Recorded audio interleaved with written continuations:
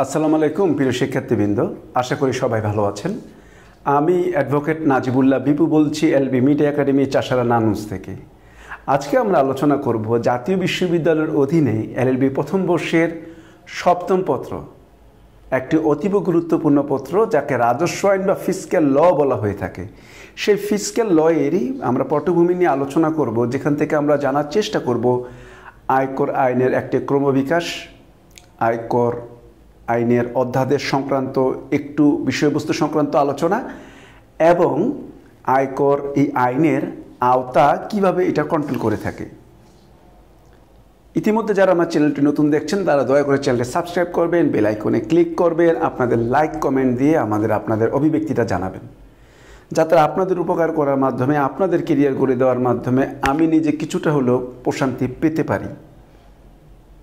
তাহলে আমরা মূল আলোচনায় প্রবেশ করি। আমরা তাহলে জানার চেষ্টা করছি আয়কর আইনের ক্রমবিকাশ। আয়কর আইনের ক্রমবিকাশটার ইতিহাসটা প্রাচীন, কারণ হাজার হাজার বছর আগে রাজা নির্ভর ব্যবস্থার মধ্যে রাজাদের বিভিন্ন ধরনের জীবন জীবিকার, রাজত্ব, প্রজাদের রক্ষা, নিজেদের ভোগবিলাসে ব্যয় করার জন্য তার অর্থের প্রয়োজন হতো। এখন সব রাজার আর্থিক অবস্থা কিন্তু একরকম ছিল না।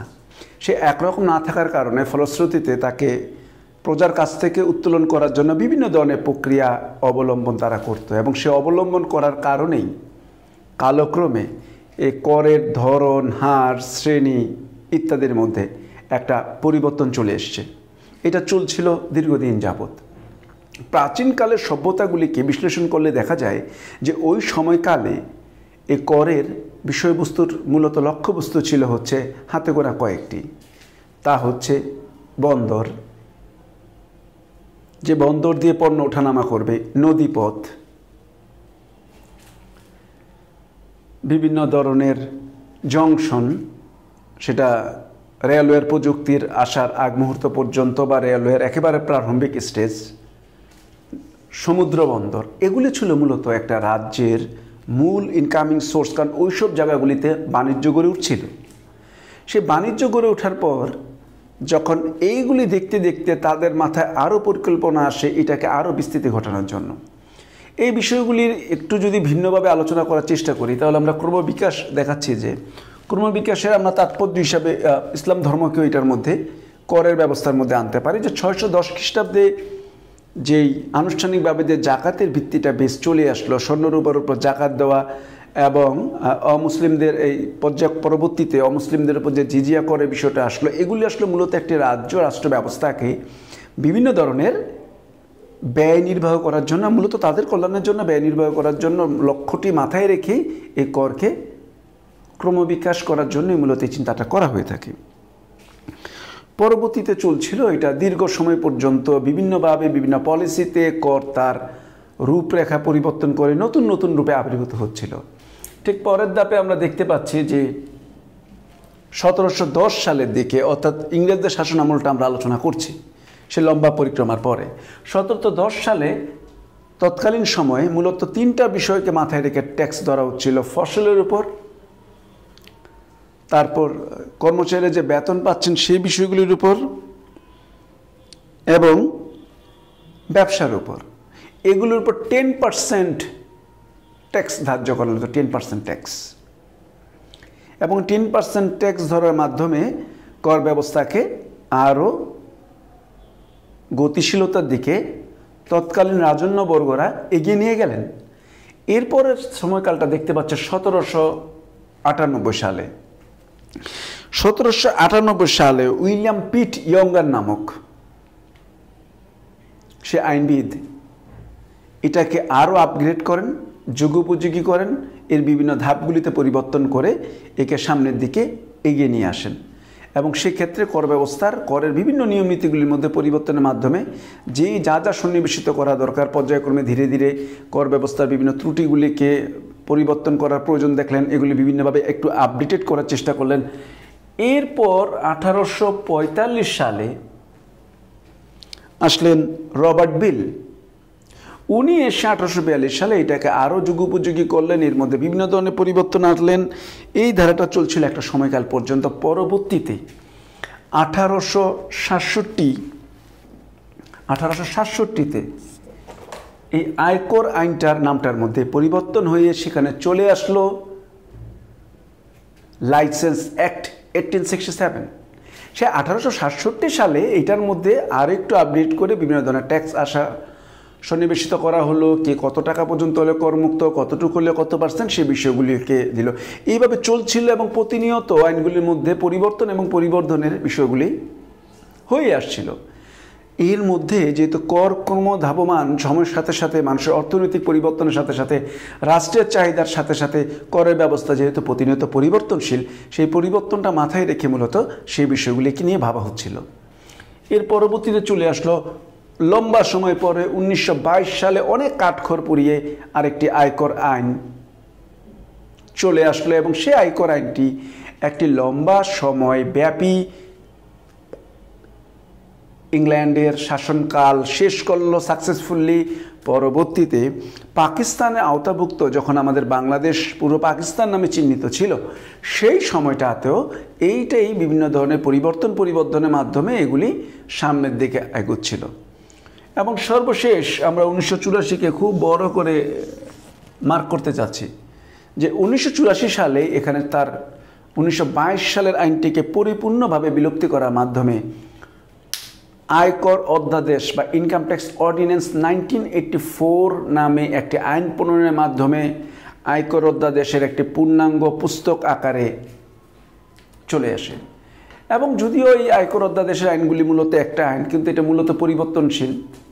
এরকম income tax loss income tax loss এরকম বিভিন্ন ধরনের বইগুলি থাকতে, যেগুলি এই আয়কর অধ্যাদেশগুলির ইংলিশ ভার্সনে বিভিন্ন নদী সহ আবার প্রচলিত আকারে বইগুলি আপনারা পাচ্ছেন আয়কর অধ্যাদেশ নাইনটিন এইটি ফোর এটা আপনাকে খুঁজলে পাবেন এবং সেগুলি আপনাদের জন্য খুব একটা স্টুডেন্টদের জন্য প্রয়োজনীয় আমরা মনে করছি না। আমরা আসলে মনে করছি যে, প্রশ্নভিত্তিক পড়াশোনা করাটা আপনার জন্য বেটার ইন দিস মোমেন্ট আরও লম্বা সময় পাওয়া যাবে, লম্বা সময় আপনারা অনেক কিছু শিখতে পারবেন, শেখার শেষ নেই। তাহলে আমরা এই কাঠামোটার মাধ্যমে বুঝতে পারলাম কি করে ধর্মভিত্তিক ব্যবস্থাটার মধ্যে দেখতে দেখতে আমরা কি করে সতেরোশো দশ থেকে লম্বা সময় পাড়ি দিয়ে উনিশশো চুরাশি সালের একটি কাঠামোতে পৌঁছে গেলাম। এখন উনিশশো চুরাশি সালের এই আয়কর অধ্যাদেশ সম্পর্কে একটু কিঞ্চিত আমরা ধারণা নেওয়ার চেষ্টা করব। যে ইনকাম ট্যাক্স অর্ডিন্যান্সটা যে উনিশশো চুরাশি সালে হয়, উনিশশো চুরাশি সালের মানেই হচ্ছে তৎকালীন প্রেসিডেন্ট ছিলেন হোসেন মোহাম্মদ এরশাদ। যদিও স্বাধীনতার পর, পরবর্তীতে ছিয়াত্তর সালে এই যুদ্ধ পরবর্তী সময়ের একটা সময়কাল কয়েক বছর পরে ছিয়াত্তর সাল থেকে এটাকে একটা আপডেটেড করার জন্য চিন্তা চলছিল। তারই ফলশ্রুতিতে ধারাবাহিকভাবে এই বিষয়টা নিয়ে বিভিন্ন ধরনের কর্মকাণ্ড শেষ করার পরে উনিশশো চুরাশি সালের আইনটি হয়। তাহলে হুসেন মাহমুদ এরশাদের শাসন আমলে এটা হলো মূলত এটা ছিল একটি ধারাবাহিক প্রক্রিয়ার চূড়ান্ত রূপ। আমরা দেখব উনিশশো চুরাশি সালের আয়কর ব্যবস্থা আমাদের কি ধারণা দিচ্ছে? আয়কর অধ্যাদেশ। ইনকাম ট্যাক্স অর্ডিন্যান্স এটা পয়লা জুলাই উনিশশো চুরাশি থেকে কার্যকরী হয়ে আসছে।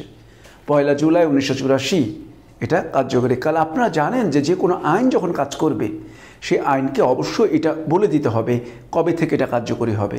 তাহলে পয়লা জুলাই উনিশশো চুরাশির মাধ্যমে আয়কর ব্যবস্থার মধ্যে যে আমূল পরিবর্তন আসে, সেই ধারাটা কিন্তু এখনও চলমান। আমরা সেই আয়কর অধ্যাদেশের আরেকটু তথ্য জানার চেষ্টা করব। এর মধ্যে কাজ করছে তেইশটি অধ্যায়। এই তেইশটি অধ্যায় অনেক বিষয় নিয়ে আলোচনা করেছে। লম্বা সেই আলোচনাগুলি আমরা একটা আলাদা ইউটিউব চ্যানেলের ভিডিও আপলোডের মাধ্যমে সেটা আপনাদের নিকট তুলে ধরার চেষ্টা করব। সেটা এই আলোচনায় আমরা আনছি না। এরপর থাকছে একশো সাতাশিটা ধারা। সেকশন ওয়ান এইটি সেভেন এখানে কাজ করছে। একশো সাতাশিটা ধারার মধ্যে আপনাদেরকে অনেকটাই স্বচ্ছভাবে ধারণা দেওয়ার চেষ্টা করবে। এবং এর মধ্যে ষাটটা তফসিল কাজ করছে। আমাদের জেনে রাখা প্রয়োজন যে ষাটটা তফসিলের পর আরও একটি তফসিল কিন্তু হয়েছিল। কিন্তু সময়ের আবর্তে সেই তফসিলটি পরবর্তীতে সে অতিরিক্ত তফসিলটি আর শেষ পর্যন্ত একটি থাকেনি। একটি তফসিল কমে যায় এবং নিয়ম অনুসারে সে আবার ষাটটি তফসিলেই ফিরে আসে। এখন আমরা ষাটটি তফসিলের বিষয়টা জানলাম যে তেইশটি অধ্যায় থাকছে, একশো সাতাশিটা ধারা এবং ষাটটি তফসিল। এ হচ্ছে আয়কর অধ্যাদেশের প্রাথমিক টেরিটরি এরপর আমরা জানার চেষ্টা করব যে আওতা। আওতা মানে হচ্ছে যে যে আয়করের যে বিষয়গুলি আমরা পড়ব, সেটাতে এটা টেরিটরিটা কতটুকু হবে? এটাকে মানে কোন কোন বিষয়গুলির মধ্যে আসতে পারে? আয়কর অধ্যাদেশ, একটা আয়কর নির্ধারণের ক্ষেত্রে কোন কোন বিষয়গুলি সেখানে কাজ করবে?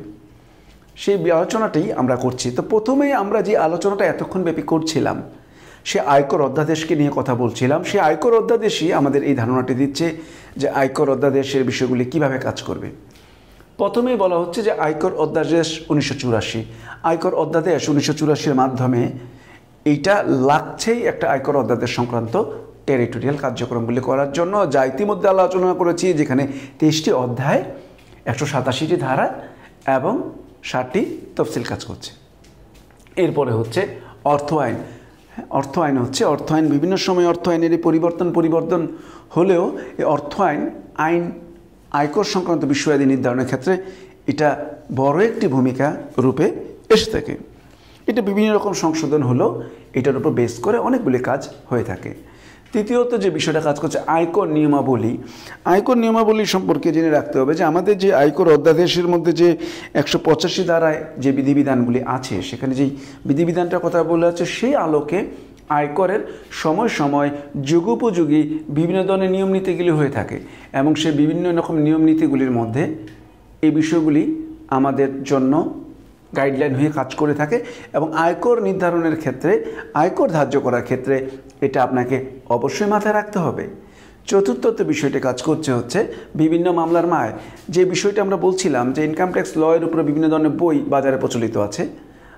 এই উচ্চ আদালতের নজির সহ যেগুলি উচ্চ আদালতে হাইকোর্ট ডিভিশন সহ, উচ্চ আদালত সমূহ, বিভিন্ন সময় যে রায় দিচ্ছেন তা বই থেকে পাওয়া যায় এবং এগুলি নিয়ে যে মামলা মোকদ্দমাগুলি হয় ট্যাক্সের সেই বইগুলির আলোকে আপনি এগুলি জানতে পারবেন। যে কোন ধরনের নজিরগুলি আপনার জন্য জরুরি এবং মামলা মোকদ্দমার মধ্যে সেই নজির সংক্রান্ত বিষয়গুলি আপনি উত্থাপন করে আপনার সমস্যার সমাধান করতে পারেন। পঞ্চম এবং শেষ টেরিটরি হচ্ছে বিজ্ঞপ্তি। বিজ্ঞপ্তি বা নোটিশ আয়কর ওই অধ্যাদেশে একশো পঁচাশিতে বিভিন্ন ধরনের নোটিশের কথা বলা আছে, যাকে বাংলাতে আমরা বলছি বিজ্ঞপ্তি। সে বিজ্ঞপ্তির মাধ্যমে আয়কর সংক্রান্ত বিভিন্ন বিষয়গুলির মধ্যে যে পরিবর্তনগুলি হয়ে থাকে, সেই পরিবর্তনগুলি কিন্তু আপনাদের জানতে হবে। কারণ এই বিজ্ঞপ্তিগুলির মধ্যে বিভিন্ন ধরনের রেশিওগত পরিবর্তন আছে, নির্দেশনা আসছে। সেই নির্দেশনাগুলি আপনাদের এই ধারণাগুলি দিবে যে কোন প্রবলেমেটিকের বিষয়ের জন্য আপনি কী রূপে সলিউশন করবেন। তাহলে এই পাঁচটা বিষয় যে আমরা বলছিলাম, আয়কর অধ্যাদেশ অর্থ আয়কর নিয়মাবলী, বিভিন্ন আদালতের রায় এবং সবশেষে হচ্ছে বিজ্ঞপ্তি। এই বিজ্ঞপ্তি সহ এই পাঁচটা বিষয় যখন আপনি সমাধান করে পারবেন, বুঝতে পারবেন, তাহলে আপনি ইনকাম ট্যাক্সের বিষয়গুলো খুব চমৎকার বুঝতে পারবেন। অবশ্য অবশ্য যে কথাটি বলে রাখা ভালো, যে আমাদের কিন্তু এই পাঁচটা আইনি এখনই পড়তে হচ্ছে না। হ্যাঁ আমাদের জাস্ট এই প্রশ্নগুলি যেহেতু এসে থাকে আয়কর আইনের আওতাগুলি, আওতার সীমাগুলি, মূল ফ্যাক্টগুলি বোঝার জন্য এই বিষয়গুলিকে ধারণা নেওয়ার প্রয়োজন থাকে, তাহলে সেই ধারণা নেওয়ার জন্যই কিন্তু এই বিষয়গুলি একটু জানা। খুব পুঙ্খানুপুঙ্খানুভাবে যখন প্র্যাকটিস করবেন, তখন যদি জানেন আরও ভালো।